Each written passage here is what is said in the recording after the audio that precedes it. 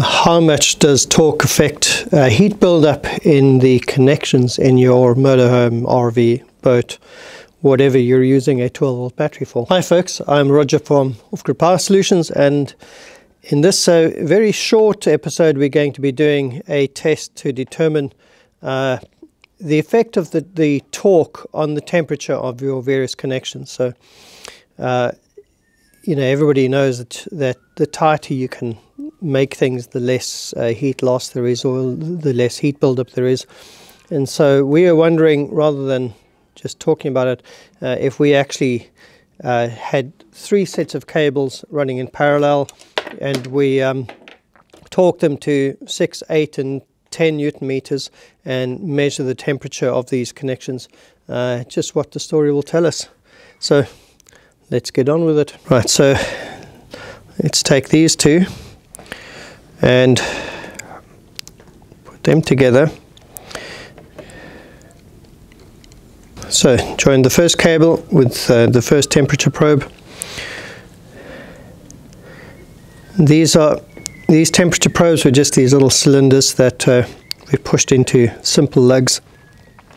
Uh, we've done various tests using this and it's actually worked out pretty well. Second cable or middle cable.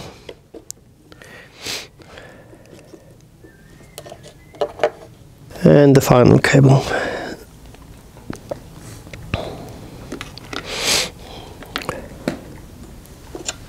I'm going to torque these up now. So we're ready to do the final torquing of, of these, but just to explain the whole setup sort of end to end. Um, we're going to run this black cable shortly straight off the uh, negative terminal of the battery.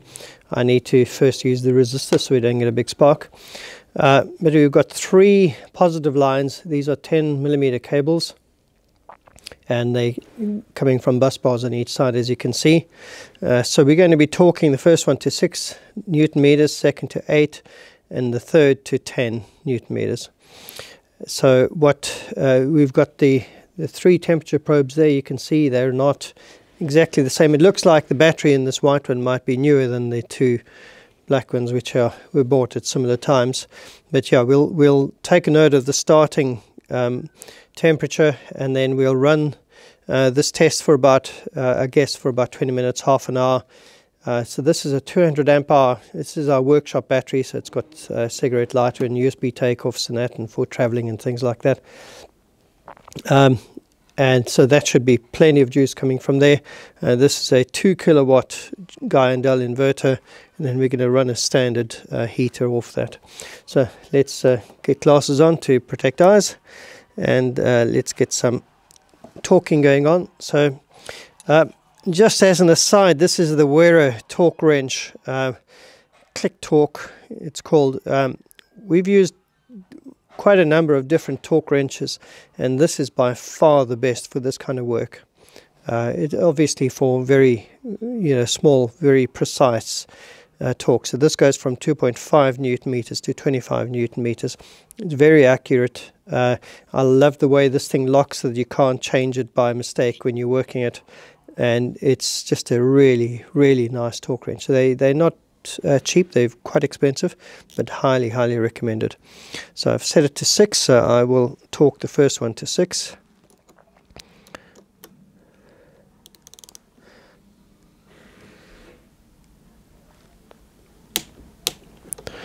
That's at 6. Right. So open this up and take the next one to 8.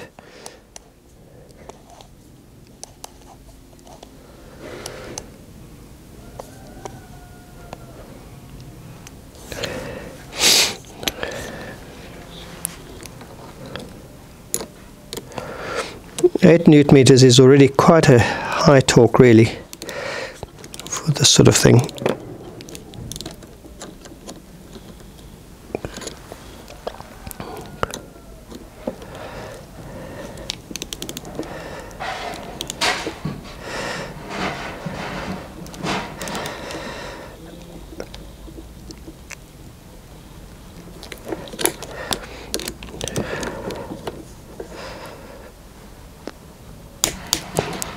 That's a pretty high torque already. I'm not expecting that to have much heat bleed. And 10, um, I know I'm going to have to turn this thing pretty darn hard to get the 10 newton meters going.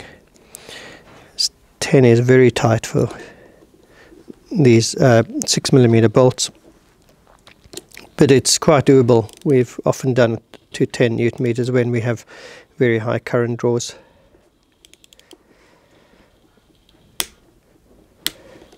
That's good to go. And our spanner has got stuck on here.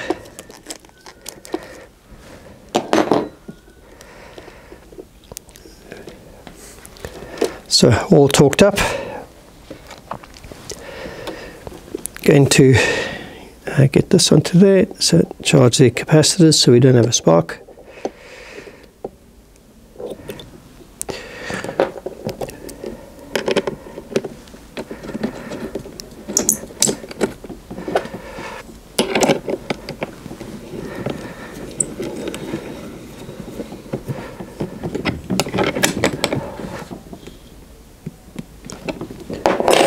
So that's tight, those are tight, tight there.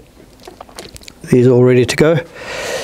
And if we look at the starting uh, temperatures, we're on 4.3, 6.8 and 3.8. Uh, these are, we know that this is about one degree higher than these. They're still settling down from me holding them and warming them up a little bit. Uh, so we know that this is about a degree higher than these two, and these two are very similar to each other. So we'll take that into account at the end. Let's turn this off initially.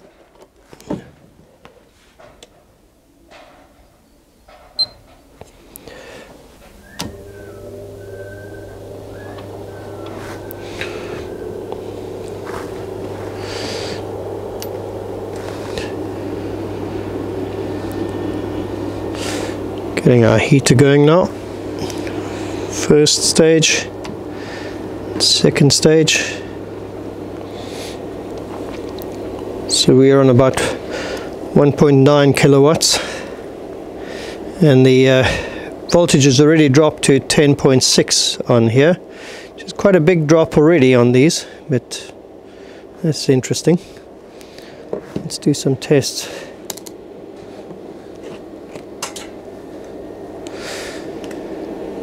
so let's see on the battery 11.1 and uh, the, let me get my glasses on so that I don't hurt my eyes.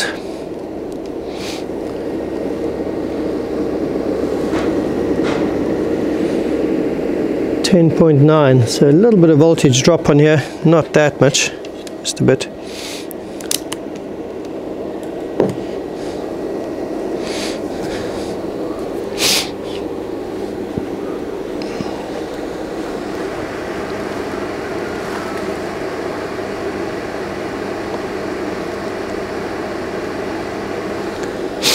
You can see these are starting to go up.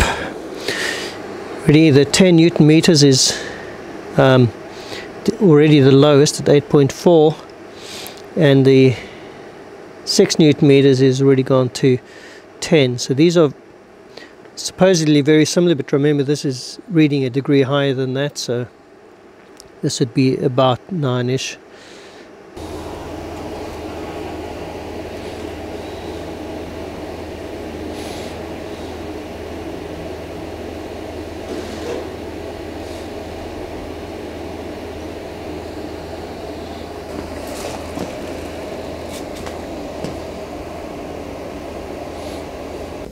So we've run this for about uh, 15 minutes now and as you can see there is very little difference. So we started at roughly 3 degrees centigrade and we've gone to around about 28, 29 on all three of them. And I have to say this is not what I was expecting. Uh, I really thought that the 6 newton meters would uh, climb well above the 8 and 10. I was ex expecting 8 and 10 to be quite similar to each other uh, because actually when you tighten it, you, you know, 8 is quite a tight uh, feel in these nuts and they, I don't think they're meant to go much higher than than 10 newton meters. Um, if they're stainless steel, if they uh, high tensile, obviously they can. Um, so very interesting that they are uh, very similar heat buildup. And one of the reasons why we wanted to run this test at six was that quite a few of the battery, the cells that we have tested, uh, we felt that six newton meters was the tightest that you could uh, tighten things on the terminals. And um, when we've gone over six on some cells, we've stripped them and then we've had to put in helicoils and things like that. Uh, so, but now I'm curious to see, you know, so is the sweet spot six millimeters, uh, six newton meters or more? It doesn't really matter. Um, and then other factors come into play, such as the surface area that's really making contact on the lugs, the way that you've crimped them, um, uh, I don't know, resistance in the cable. I mean, you'd expect them to be identical. So, uh, are other factors coming to play? Because it looks like the uh, 8 newton meters is actually faring better than the 10 newton meters in this test. And in fact, at one stage we thought mm, maybe we didn't uh, tighten the 10 newton meter enough and we nipped it up a little bit and the temperature went up, not down. Uh, after about a minute, after we had tightened it even more. So, very interesting result. So, what we're going to do now, I'm going to uh, undo these and retorque them to uh, quite an extreme range to 4, 7, and 10. So, we leave the 10 as it is, uh, but we're going to undo. So, as usual, glasses on first to protect the, the old eyes and I'm going to bring this down to 4 it just feels crazy having something such a low torque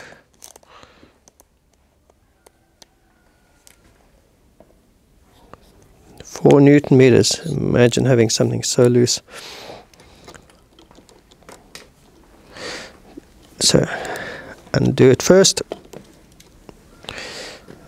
Then let's torque it up.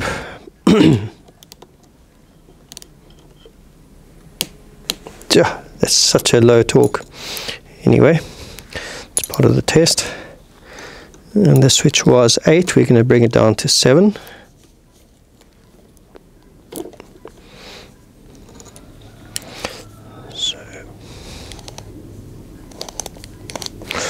So 3 newton meters increments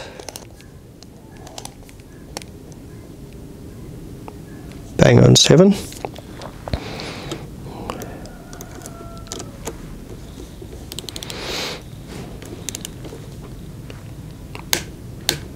There we are. So we now have 4, 7 and 10 newton meters. And uh, what's our temperature look like?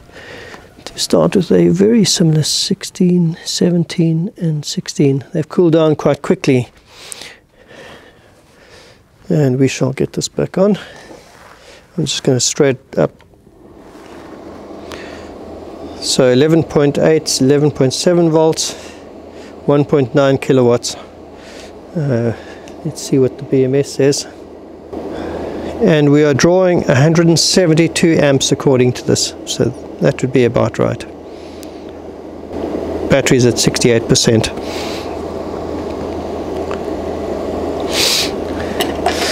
So if we don't have heat buildup on this uh, 4 newton meter cable I'll be quite surprised.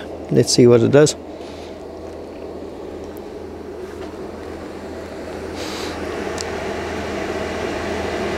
One of the things I thought I'd do while this is running and see what amperage is actually running through these. Uh, I, I was assuming it would be a similar amperage but maybe I'm completely wrong. So zero this. So this is about what 56.8 amps, 57 amps ish. So you could see this, which was the 4 newton meter, was 57. This is running at 62 amps. And this last one running at 65 yeah at 56 sorry 56 56.6 so uh, our assumption was correct actually. The very similar amperage is running through the three cables. So it's not as if uh, the higher you torque it, the more amperage it carries or the more current it carries compared to the others. They're all carrying very similar amounts. So we will observe this heat build up now and see what it's doing.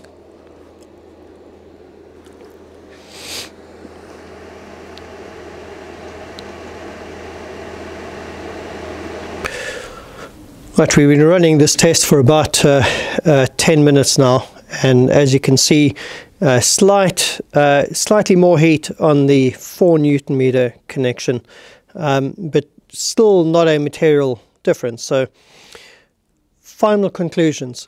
Uh, firstly, we are running roughly 180 amps through here, 170, 180 amps.